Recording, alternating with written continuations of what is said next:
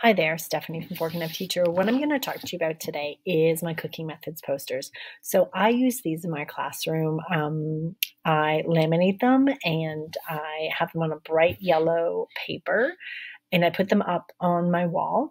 And then if I need to, I will pull them down to like talk about a certain cooking method.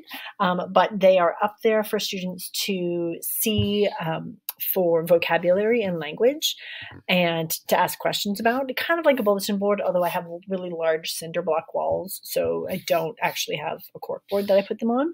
Um, but they're great. They're black and white. Um, drawing so they're very crisp um, there's a word for each of them so this is roast so that's a turkey let me just work on going down here this one is boil. So you can see there's the large bubbles to indicate boiling with the steam rising off the top.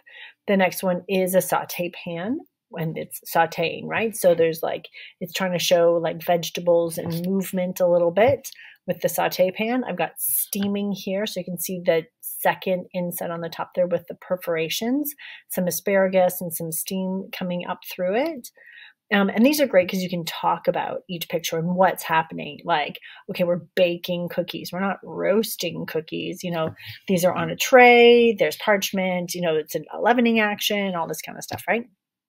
So this one is pan fry. So there's four individual chickens in here showing a little bit of browning on the one side um, and then deep fry. So this is like it's a it's a pot um, showing French fries, and then with a spider going in, talking about deep frying.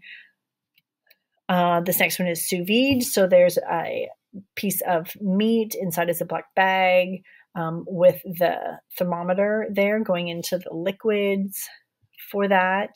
Then I've got poach. So there is an egg in a like a, a ladle or a spoon that's being like lifted out of the water. Um, you can see a little bit of bubble action in the water showing that there's some heat. It's not just like cold water. We've got broil, so we've got the um, like whether it's in a salamander or something that's in an oven, right? Whatever the students are familiar with, but showing that there's some cheese that's melting, so it's a top-down heat for the broil. Um, I've got grill. We've got some meat with the grill marks on the meat and showing the grill that it's on. Um, and that process of like um, a lower heat coming up through the food. And of course, the heated rods. Then we've got braise. So with braise, we see the browning on top of the meat. So it was like, because braise is a combination, right? So it was kind of pan fried in the pot first and then the liquid was added and it's not completely submerged it's just like half submerged in the liquid so it's not like a soup. It's um yeah it's just a braise. So the, liquid comes about halfway up the large um, item. And then we've got stew um, and so this is showing like a, one of the taller more cylindrical pots that you might be more likely to stew in.